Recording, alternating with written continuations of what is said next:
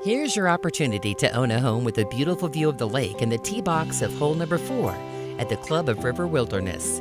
The home offers three bedrooms, two and a half bathrooms, a living room, dining room, office, family room with a coral stone fireplace and vaulted ceiling, and a two and a half car garage. This home has been updated and is well maintained. Your new home is just a call away. Contact Judy Aarnes for more details.